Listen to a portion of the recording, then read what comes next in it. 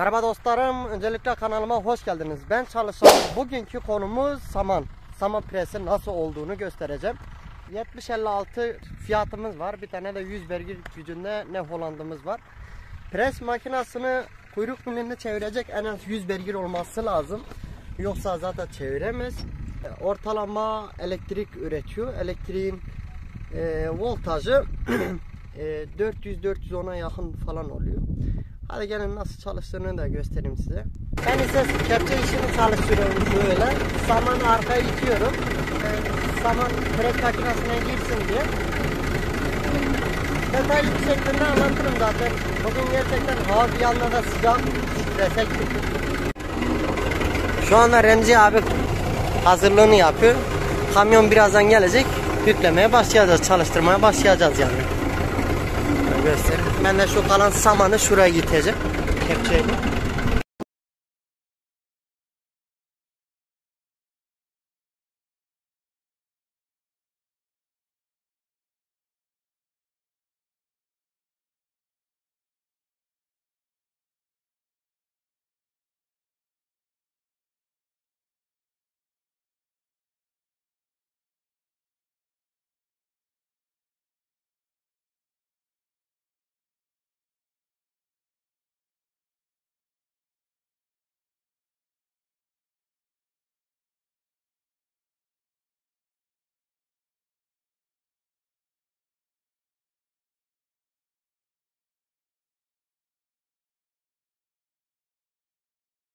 Evet arkadaşlar makinenin bazı özelliklerini anlatayım size. Şimdi A piston var, B piston var, C piston var. Şu andaki şuradaki gördüğünüz C piston.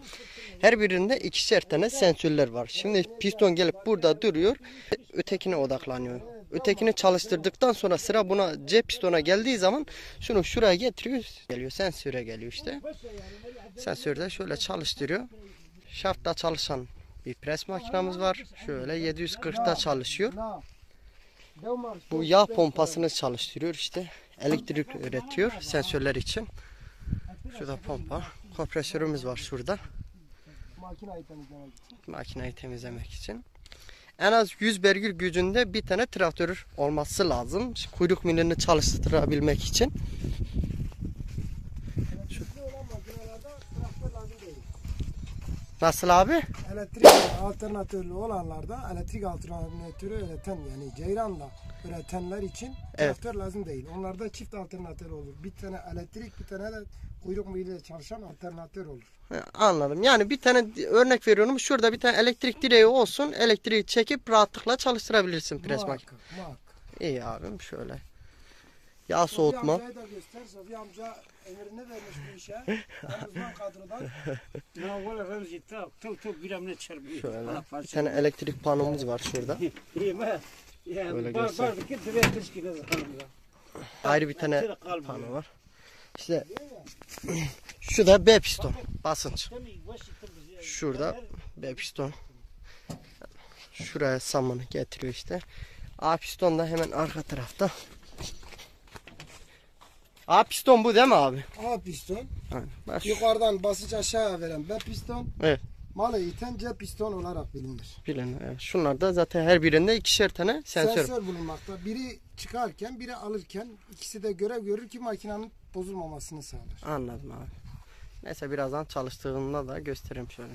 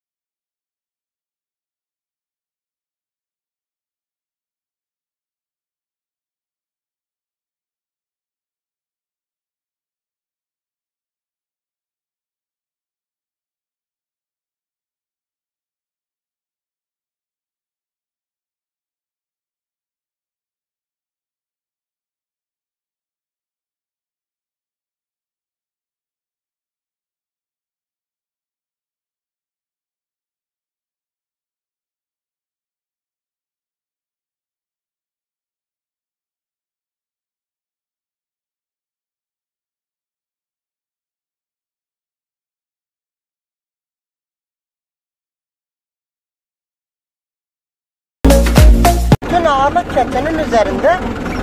Çünkü saman itmese presle çalışmaz.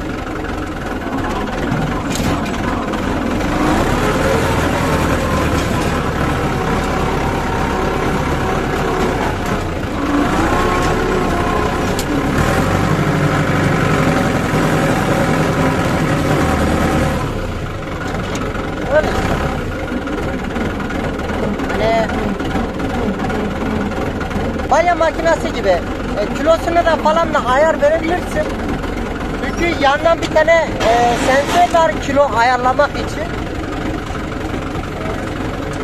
50 kilo 60 kiloya kadar da kaldırır ama pres pert olur, maf olur pres gerçekten. Onun için ortalama e, 27, 28, 30 arası falan yapıyorlar.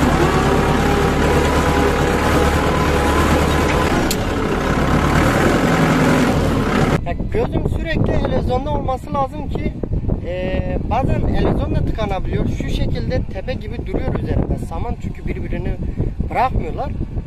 Bazı yerler nemli küflü oldu, olduğu için bırakmıyor. Gözüm sürekli elezyonda.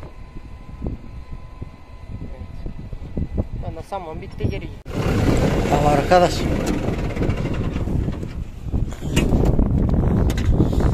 Ya burada sürekli Şurası sürekli tıkanıyor sa- samanın dolayı. Bu sefer nefes alamıyor. Motor zorlanıyor ya. Kırdık, kırdık. evet. Kepçe bekliyor. Yetişemiyorlar bize. Şöyle kamyon da dolmak üzere.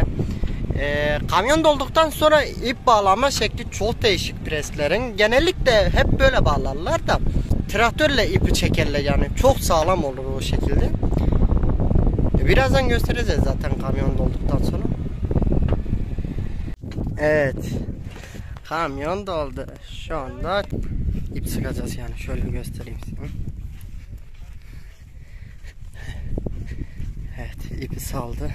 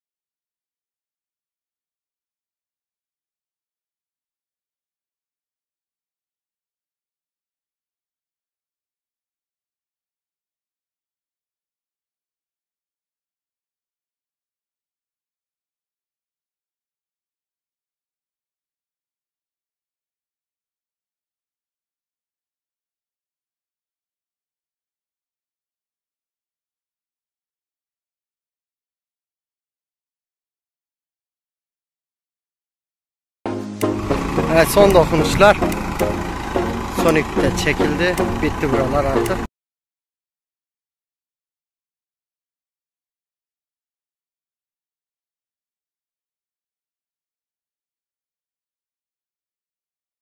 Bugün de bir videonun sonuna geldik. Kanala abone olup yorum yapıp beğenmeyi unutmayın. Şimdiden izlediğiniz için ayrı ayrı teşekkür ederim. İyi ki varsınız. Sağ olun var olun canım.